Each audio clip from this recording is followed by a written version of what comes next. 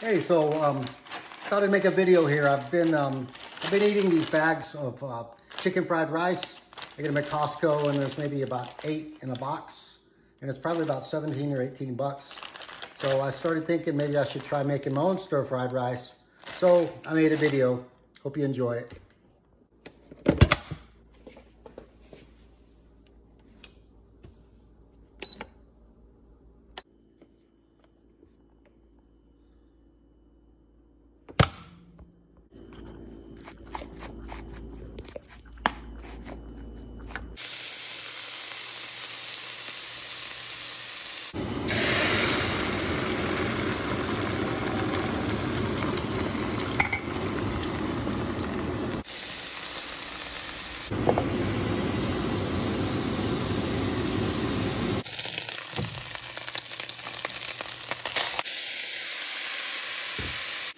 Thank you.